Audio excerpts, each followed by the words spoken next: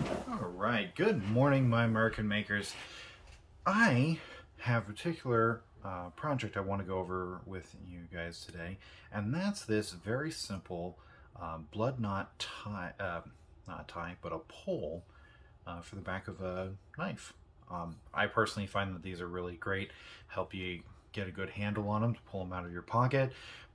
They also look kind of nice. Um, being a leather worker, it's nice to have little pops of leather, especially some home crafted goods. Um, you know, something you did with your own hands that you can pop on a something you actually use on a daily basis. So this is a special edition uh, Buck Spitfire for their Buck of the Month program. This is the one from the July 2021. It's got a nice red and blue motif going through and great looking knife. I think this helps elevate it just a little bit. So we're going to do the same thing to this uh, Black DLC brass handled Kizer Begleiter. All right, and it's a very simple project. All you really need is three things. Well, you do have to have a knife, and it is best if the knife has an some sort of an oblong or oval um, lanyard hole on it. If it's circular, it may not be uh, big enough to put the leather through. Uh, something to consider. But this one's got an oblong, so we're good to go. All right, now I am just going to do this. Sorry, required materials. Where, where are my manners? Uh, required materials. I've just got a little scrap of leather. This is some four to five ounce chrome tanned uh, water buffalo in the crazy horse pattern I got from Weaver. Um, I love this stuff. Done a bunch of projects, as you can see with it, and um, that's what we're going to use today. I'm then just going to use uh, straight edge and this again picked up from Weaver um, this Chinese skiving knife or sorry Japanese skiving knife uh, the only real concern here and just note on safety these things can be very sharp so if you're not using it definitely want to put in a sheath I'm just gonna kind of eyeball this and go yeah you know I think that's about wide enough looks good on both ends you don't want to taper, you just want to be a nice, smooth, even uh, width all the way down. Okay. Let's get to it.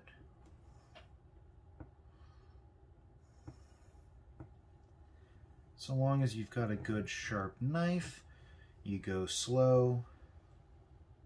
Something like this four to five ounce is pretty easy to cut through in a single go.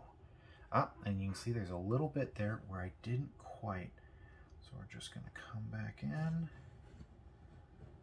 And ah, a little bit of a ragged edge there.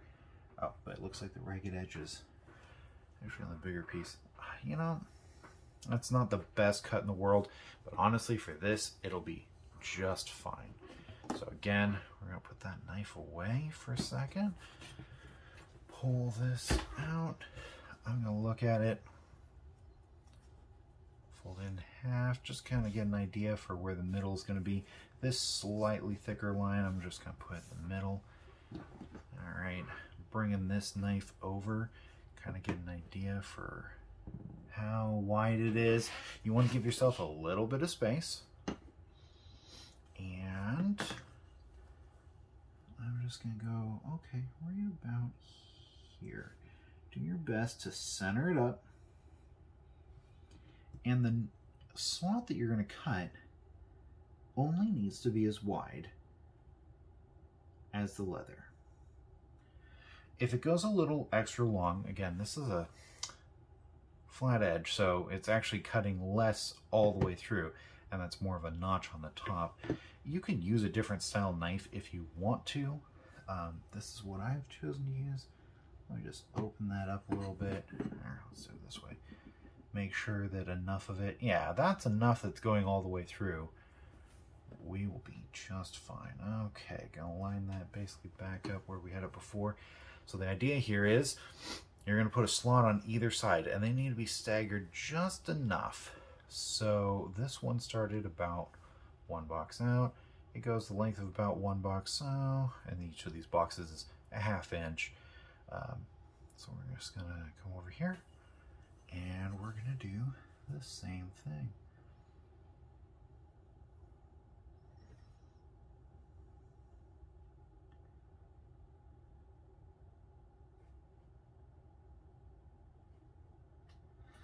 All right. Oh, you can see I kind of went off at an angle here.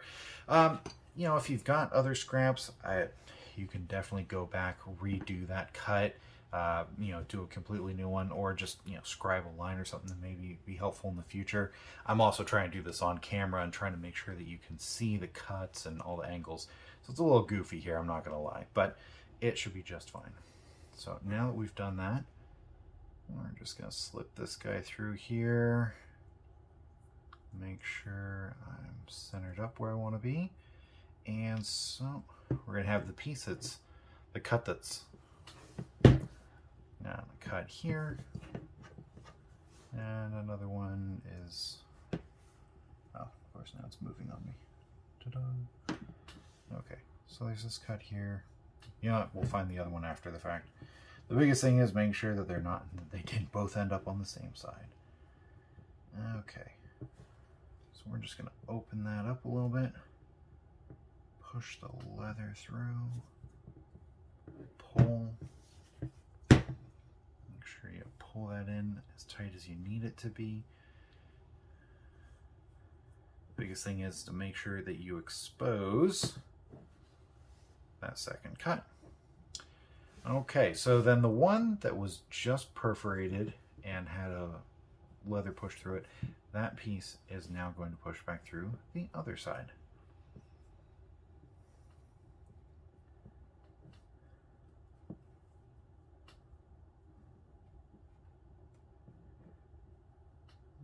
Okay, there we go.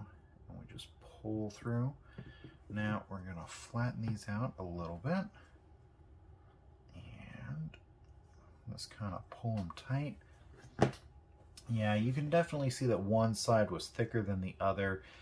For me personally, uh, this is a detail that I'm going to notice and it's going to bother me, but most people won't. Something to consider. Now, I'm going to take this knife one more time here. And this is just the way I like to end these. Kind of figure out about how long you want it. I'm going to say we're going to go to right about here. And I like to put these at an angle. And I chop through. And then I pull one of them aside and chop through again, trying to roughly match that angle, which I, oh, I really didn't do that this time. Okay, let's go sharper. There we go. And uh, just that way you've got kind of this offset bit here. Uh, my personal styling, and there you go. Got some extra scraps. Put this guy away for safety. And that's really all there is to it. Nice, simple, easy way, minimal tools that you can dress up a knife with a pull and uh, you know doesn't take much material doesn't make take many tools and away you go I hope you guys found that interesting. Uh, stay tuned for more content, for more little projects. I'm to try to keep it pretty basic at the beginning, uh, mostly because that's about all I know how to do at this time. But we'll get there together. Uh, anyways, I hope that you enjoy making your own goods, quality, durable goods that will last you a long time, uh, that you'll have and that you can give to friends and family. And maybe sell for a buck or two, who knows. Anyways, this is your Murican Maker signing out. Y'all have a nice day. Bye.